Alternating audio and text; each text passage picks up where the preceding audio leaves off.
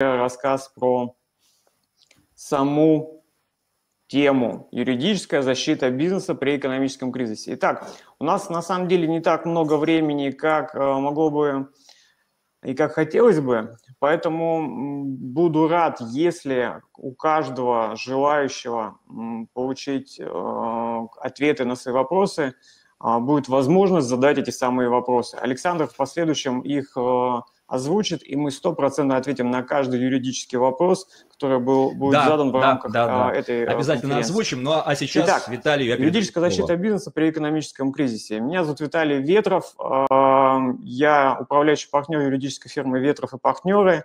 А, персонально отмечен рейтингом делового квартала. Юридическая фирма «Ветров и партнеры» на протяжении последних трех лет входила а, в национальный а, рейтинг юридических фирм в номинации «Арбитражное судопроизводство и разрешение споров в судах общей юрисдикции». Мне профессионально интересны проекты в области защиты активов, защиты активов компании и личных активов. А, соответственно, экономический кризис он достаточно такая полярная штука с точки зрения его квалификации юристами, поэтому мы сформулируемся только, наверное, на трех плоскостях, которые имеют а, отношение ко всему происходящему. А, первое – это мы поговорим про коронавирус с точки зрения форс-мажора, а, мы поговорим, э, что делать э, токсичными, нехорошими контрагентами, и третье – мы поговорим, как защищаться самим в случае, если потребность такой защите возникла. А, соответственно, первое. Коронавирус с точки зрения происходящего можно квалифицировать как естественное обстоятельство непреодолимой силы. Этому посвящена только одна статья в Гражданском кодексе, это статья 401. А, в ней а, речь сводится к квалификации всего происходящего с точки зрения двух критериев. Это чрезвычайность и непредотвратимость всего происходящего. А, соответственно, если э, вдаваться в аналитику подобных категорий, а, то подобные события, естественно, на старте не должны быть э, нам предусмотрены, мы не могли предполагать их наступление, и, следовательно, только в этом э, случае есть основания для применения статьи 401.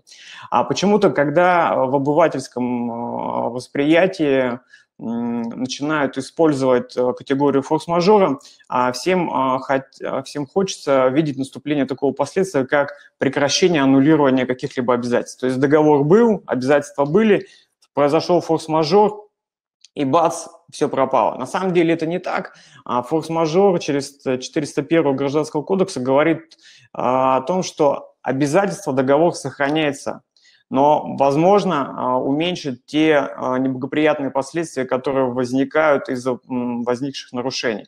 В первую очередь это нарушения, связанные с возможностью а, взыскания неустойки, либо возможность взыскания убытков. По сути, только от меры ответственности спасает 401.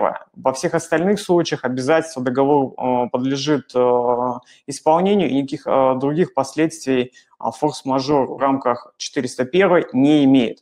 Соответственно, из этого, повторю, нужно сделать вывод, что форс-мажор – это не волшебная таблетка, которая превращает э, договор обязательства а, в, там, в пустое место, пшик и так далее.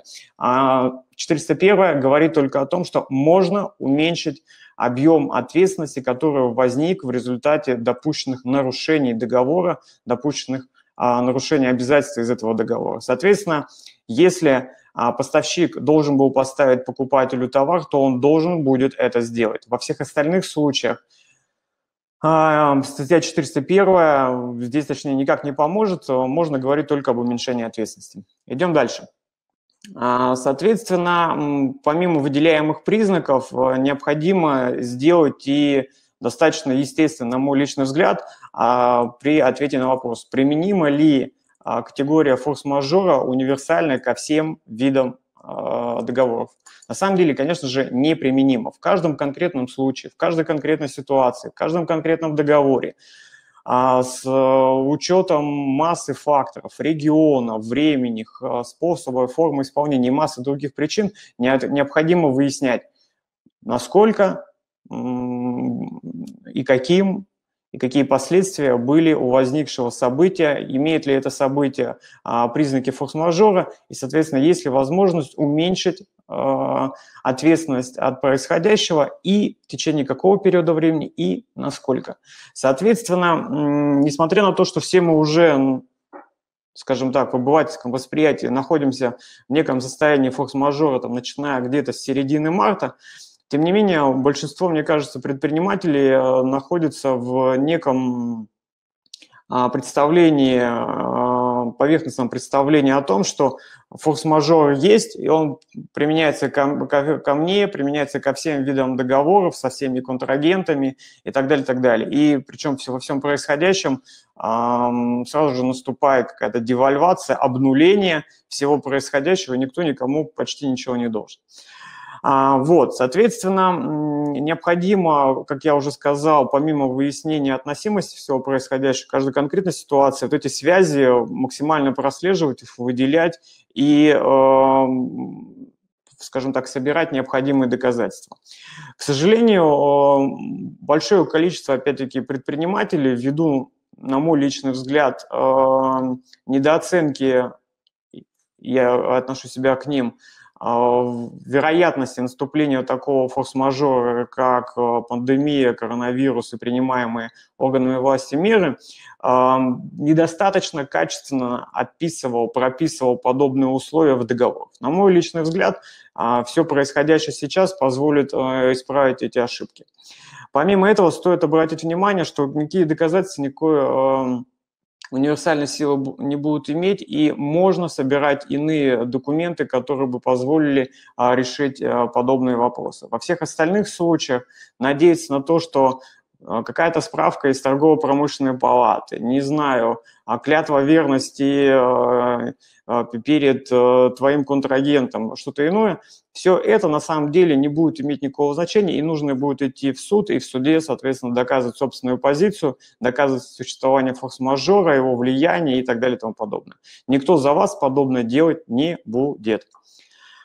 А, помимо следующий блок. Отказ контрагента от исполнения обязательств. Здесь а, на самом деле ключевой момент. Коронавирус не освобождает от исполнения обязательств. Он может освободить от ответственности. В некоторых случаях коронавирус через, там, допустим, статью 417 может привести к прекращению обязательств. Иногда он может создать основания для договорного либо законного отказа от договора, если есть для этого основания.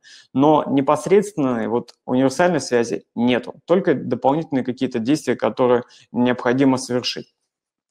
А, соответственно, если же мы наблюдаем, что по тем либо иным причинам, то ли непосредственно причина следственной связи, а, наш контрагент отказывается от договора, на мой личный взгляд, необходимо помимо принятия управленческих решений оценить э, те юридические инструменты, которые мы можем использовать. В первую очередь мы, конечно же, смотрим на те источники, которые э, мы можем применять в этой ситуации. Это, конечно, базовый договор э, и закон но есть универсальная мантра, которая всегда присутствует. Часть из них, часть этой мантры, она указана на слайде, проговорю это. Можно понудить к исполнению, можно взыскать штрафные санкции, можно взыскать убытки.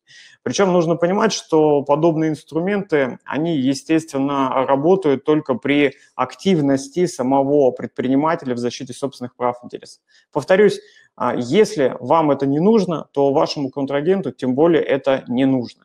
А, это первое. Во-вторых, суды работают. С помощью судов можно добиваться защиты собственных прав и интересов. Да, это порой сложно. А, да, это не универсально. Да, придется потрудиться, но порой овчинка выделки стоит. А, конечно же, на этой стадии может возникнуть вопрос о том, каким макаром нам в последующем обеспечивать исполнение решения суда.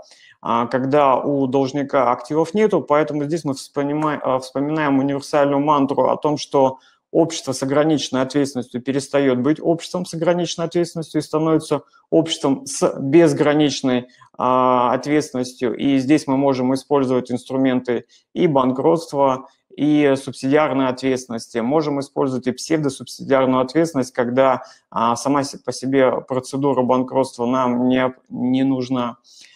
Вот, а, поэтому здесь э, инструментов на самом деле достаточно. Главное использовать э, имеющиеся и выжимать из них максимально а, максимальное. И последний блок, он связан с инструментами имущественной безопасности. Здесь мы выделяем два блока. Это блок безопасности самой компании и блок личной безопасности. Нужно понимать, что какие-то инструменты являются общими и базовыми. Пробегусь тезисно по некоторым из них. То есть в первую очередь э, риски для безопасности возникают при смещении двух видов активности, двух видов деятельности. А, когда одна и та же э, компания осуществляет и операционную деятельность, и является хранителем активов. Ну, Скажу честно, достаточно глупо, а, наверное, с точки зрения именно защиты а, активов, одновременно заключать массу договоров и быть должником по ним а, с вашими контрагентами, и на этой же компании хранить все возможные активы, и недвижку, и деньги, и ценные бумаги, и интеллектуальная собственность и так далее. Следующее, необходимо всегда понимать, кто ваши клиенты, кто ваши контрагенты и оценивать уровень токсичности каждого из них. Это что значит? Это значит, что как минимум мониторить ЮГРЮ, мониторить картотеку арбитражных дел, которая открыта, мониторить, как себя ведут э, ваши контрагенты, какие действия, сделки инициируют и что в результате этого удается. Если вы этого не будете делать, то, в принципе, это будет влиять и на неверное определение уровня риска по а, подобным вопросам. Всегда стоит держать э, под э, надзором, контролем и иные юридические риски, которые возникают. Сюда и банкротные, и корпоративные, а, и все в этой совокупности будет иметь э, дело. А, будет иметь значение. А, приведу, как бы, там, не знаю, пару-тройку примеров. А, ведете бизнес вдвоем с партнером, но корпоративный договор между вами до сих пор не заключен. Зона ответственности непонятна. Каким образом вы будете принимать решение, если один захочет выйти из бизнеса, а другой посчитает, что рановато, либо друг, один из партнеров потребует выкупа бизнеса. Что вы будете делать, если завтра вы получите иск от вашего контрагента на 10 миллионов рублей с обеспечительными мерами на денежные средства на счете, также в этой сумме? Схлопнется ли ваша операционка, сможете ли вы исполнить обязательства перед вашими контрагентами? А если недовольный сотрудник приведет помимо трудоинспекции, но еще и АБЭП. Готовы ли вы а, к обыску, выемке документов? Насколько руководитель является стрессоустойчивым? Не приди Господь, если руководитель, собственник бизнеса или один из собственников бизнеса умрет, завтра умрет. Что будет с компанией? Насколько существующие инструменты позволят продолжать деятельность самой компании? А, помимо как бы, оценки инструментов э, защиты э, активов самой компании нужно вспомнить, конечно, и про личную защиту. Здесь э, помимо применимости отдельных инструментов корпоративной защиты, я обращу внимание, конечно же, и на инструменты личной. Здесь классика жанра – это брачный договор и алиментные соглашения, мировые соглашения, которые могут приниматься по тем либо иным вопросам, а, те договоры, которые вы можете заключать, корпоративный договор с вашим же партнером, подумать о том, где и какие активы, и, возможно, обособить их. Ну, допустим, а, денежные средства хранить не только на себе, как физики, а в банке, который может быть не настолько надежен, как банки там из первой десятки. Ну, естественно, занимать активную стратегию для того, чтобы мониторить все происходящее по основным параметрам рисков. Повторюсь, это суды, это открытые какие-то реестры, поведение ваших контрагентов, ну и, соответственно, общий э, климат э, вашей ситуации в вашей жизни, в вашем бизнесе. А вот так вот быстро, тезисно я постарался охватить на самом деле три, на мой личный взгляд, достаточно больших вопроса. И я надеюсь, что м, вот эти вот направления тезиса, они позволят вам, э, ну, во-первых, понять э, и взять из моего выступления конкретные какие-то рекомендации, которые можно применять прямо сегодня – Второе – это, соответственно, подумать о тех э, критических э, моментах, э, которые э, стоит проанализировать и держать под контролем.